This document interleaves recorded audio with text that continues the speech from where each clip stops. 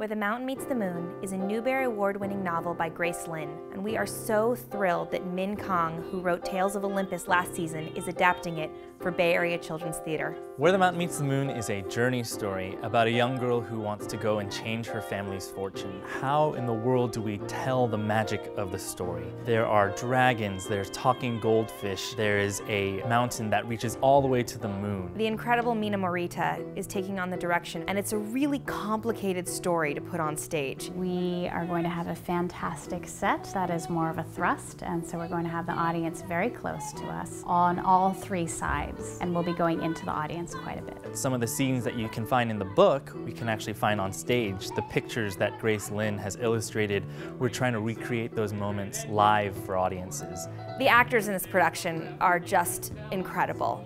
They've all brought such a spirit to the rehearsal room. The inspiration of the music really stems from Asian culture. What I found was that the story of Where the Mountain Meets the Moon about these characters meeting other characters could really be reflected through the music by having intertwining lines and melodies that meet each other, much like The Mountain Meets the Moon. In particular, this work is really important to me because it is to some degree about my Asian heritage, and it's about a young girl who uses her heart and her intelligence to find her way out of many different situations. New work is challenging.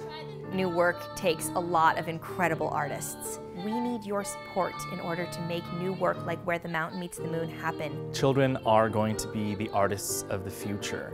And if we aren't giving them quality entertainment that is full of art and full of poetry and full of beauty, how do we expect to cultivate the next generation of artists? In some ways, rehearse some of the things that they're going to be challenged by in life by experiencing them in a more visceral way with people right in front of them. It gives our audiences an opportunity to see something brand new. New work also takes time. New work takes resources. And we need your support in order to bring Where the Mountain Meets the Moon to Bay Area stages. Thank you for your support of Where the Mountain Meets the Moon. We look forward to seeing you at the show.